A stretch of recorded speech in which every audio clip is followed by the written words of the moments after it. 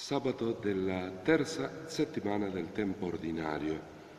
La lettera agli ebrei praticamente dà la definizione, eh, secondo la Sacra Scrittura, della fede e lo dà di una forma eh, teologica, ma di una forma anche concreta, cioè con i fatti concreti, parlando di come alcuni personaggi della storia di salvezza hanno camminato, si sono mossi nella vita per la fede. Capitolo undicesimo della lettera agli ebrei. Fratelli, la fede è fondamento di ciò che si spera, prova di ciò che non si vede. Ecco, questa è la certezza di una nuova forma di conoscenza. No? Per questa fede i nostri antenati sono stati approvati da Dio. E adesso parla di Abramo.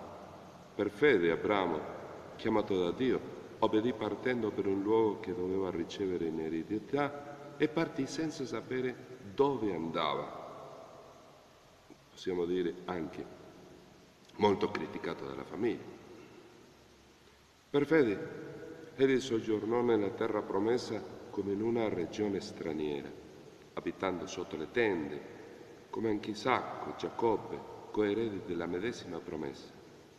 Egli aspettava infatti la città dalle salde fondamenta, in cui architetto e costruttore è Dio stesso. Per fede anche Sara, sebbene fuori dell'età, perché era anziana, ricevette la possibilità di diventare madre, perché ritenne degno di fede colui che le lo aveva promesso. Per questo da un uomo solo e inoltre già segnato dalla morte, cioè vecchio, nacque una discendenza numerosa come le stelle del cielo e come la sabbia che si trova lungo la spiaggia del mare e non si può contare. Padre della fede. Nella fede morirono tutti costoro senza aver ottenuto i beni promessi ma li videro e li salutarono solo da lontano, dichiarando di essere stranieri pellegrini sulla terra. Chi parla così mostra di essere alla ricerca di una patria, quello che abbiamo riflettuto tantissimo eh, dal tempo d'avvento sulla speranza. Si sono mossi, hanno creduto e si muovevano secondo la speranza se avessero pensato a quella da cui erano usciti, avrebbero avuto la possibilità di ritornarvi.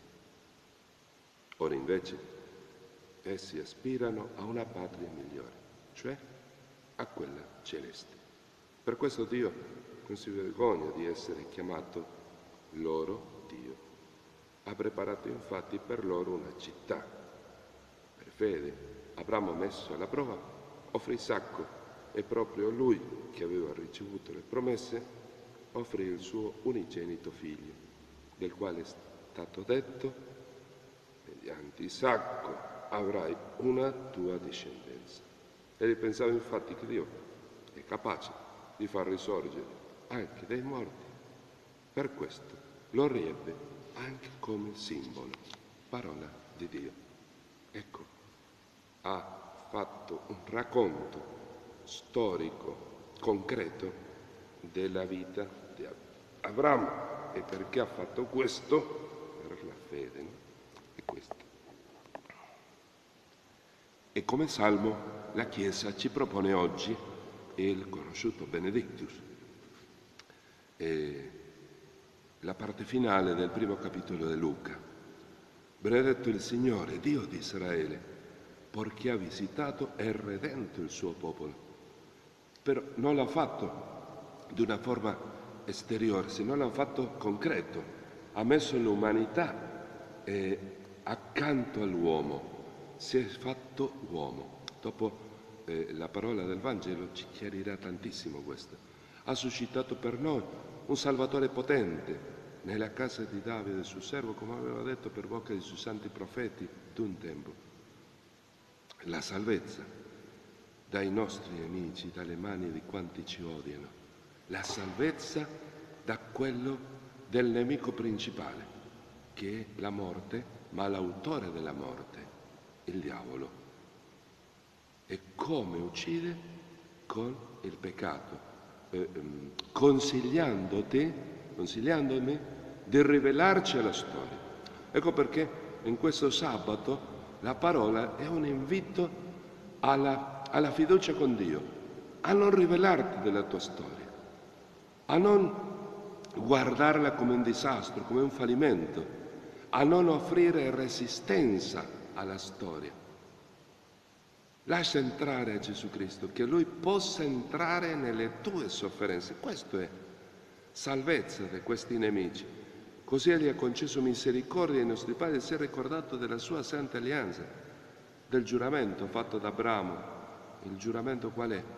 La terra promessa, una discendenza dei credenti. Guarda le stelle, riesci a contare? Eh, no, beh, la tua discendenza sarà molto più di questo che vedi.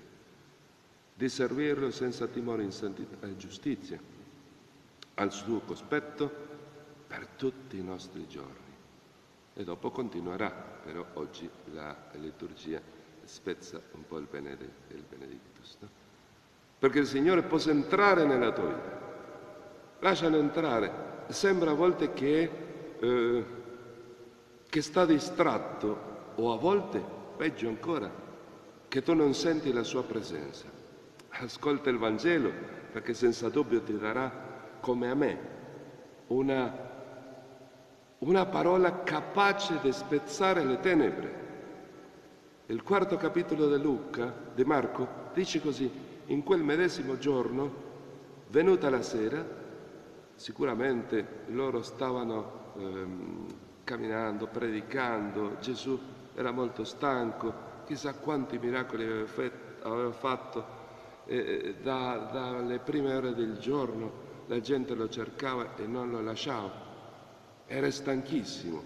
Gesù disse ai suoi discepoli, passiamo all'altra riva del lago di Galilea, cioè andare a un'altra città o a un altro posto un po' più tranquillo. Il mezzo di trasporto per attraversare un lago è più facile attraversarlo con una barchetta, con una nave, che andare camminando tutto attorno, no?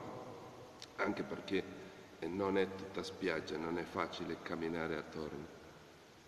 E disse, eh, è congedata la folla, lo presero con sé gli apostoli, si capisce? Così com'era nella barca.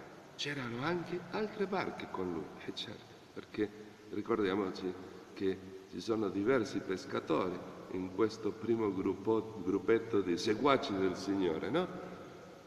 Che cosa è successo? Ci fu una grande tempesta di vento e le onde si rovesciavano sulla barca, tanto che ormai era piena, piena d'acqua.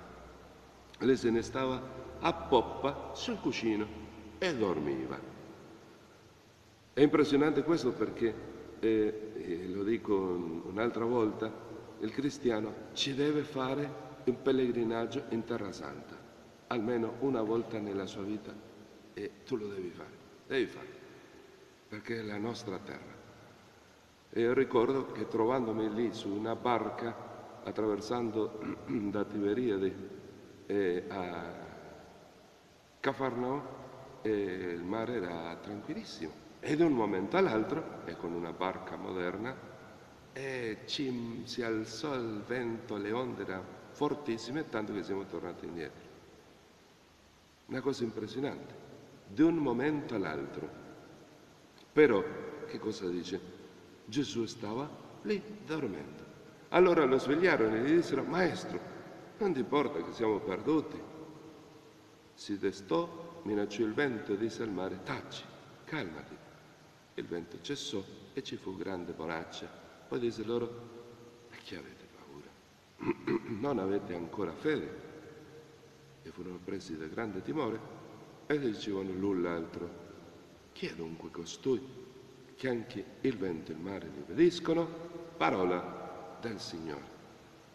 Certo che con uno sguardo molto veloce sembrerebbe che a Gesù non importa niente frattempo che gli altri stanno lì lottando e lui dorme.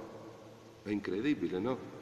Lui, che non è un uomo abitu- eh, abituato alla, al mare, invece gli altri sì, gli altri sanno come affrontare le tempeste. Chissà questi pescatori quante volte sono stati, stati sorpresi da questo tipo di vento, di tempesta,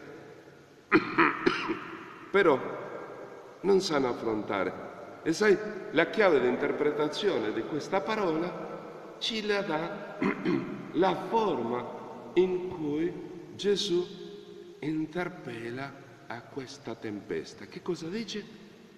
Taci. E che c'entra? Tacere. Calmati.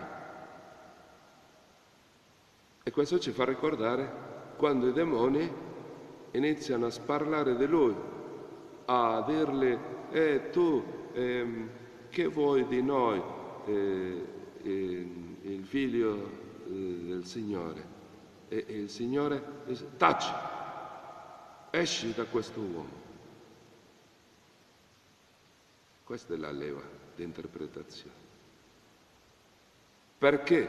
Perché dentro gli apostoli, nel cuore degli apostoli, c'era un virus contaminante, che è la mormorazione, il cattivo pensiero. Come questo viene con noi, è tanto potente e dorme, non le importa niente, vedi? La mormorazione sulla storia, la mormorazione nella sofferenza. Ecco perché il Signore la prima cosa che le deve dire a loro, silenzio, taci, basta di mormorare, basta di pensare male, basta di pensare che, che Dio non ti ascolta, basta di credere che Lui è distratto, basta di pensare e credere alla bugia di che Lui non ti protegge, o peggio ancora, la bugia che ti ha messo, ti ha messo nella testa la brutta bestiaccia dicendoti tu non sei figlio di Dio, lui non è il tuo padre, perché non ha cura di te. Vedi come ti lascia davanti alle sofferenze? Questa è la bugia centrale. Ecco perché la parola del Vangelo per te e per me oggi, in questo sabato, il sabato è sempre dedicato alla Madonna, perché Maria Santissima non si cansa, non si stanca di accompagnare gli apostoli in tutti i momenti, prima, durante e dopo la sofferenza, la crocifissione del Signore. Accompagna la Chiesa, lei ti accompagna. Perciò benedetto il Signore, il Dio di Israele, perché ha visitato e ha redento il suo popolo. Non, si, non, non, non lo ha lasciato in valiale delle onde, capito? Tu non sei da solo, tu non sei da sola, il Signore è accanto a te, ma perché tu lo possa vedere, lo possa ascoltare, perché tu possa accettare, scoprire la sua presenza nella tua storia, nel tuo matrimonio che cade a pezzi o che sta perdendo eh, la felicità, che sta perdendo il sapore, che cosa c'è bisogno? Silenzio, basta di mormorare. Basta di pensare male, basta, perché tu possa ascoltare che cosa vuol dire Dio e come vuole lottare con te davanti alle tempeste. Ecco perché il Signore era stanco, sì, ma c'è un'altra tempesta, la tempesta interiore, di cui solo il Signore ti può dare la vera pace. Taci calmati, calmati, tranquillo, tranquilla, guarda la tua storia. Siamo insieme, ti dice il Signore, siamo insieme nella stessa barca, non sei da solo, siamo insieme. Che bellissima la parola. La parola è molto bella perché con te con me il Signore entra nella tempesta, entra nella sofferenza, lascialo entrare, fa silenzio Ecco perché che cosa manca? La vera fede. La vera fede, come lo diceva la lettera agli ebrei, no? la certezza, la, l'essere certo, concreto, il fondamento di ciò che si spera, la prova di ciò che non si vede. Questa è la vera fede. E noi sappiamo che la maestra della fede è Maria Santissima. Lei continua a camminare accanto a te, accanto a me, presentandoci il suo figlio Gesù Cristo e salendo, salendo con lui sulla croce, perché lei, lei sale, accompagna il suo figlio. Guarda come il suo figlio Gesù Cristo accompagna la Chiesa nella tempesta ma la mamma non lo abbandona, la mamma lo accompagna a salire sulla croce e lo aspetta nella risurrezione.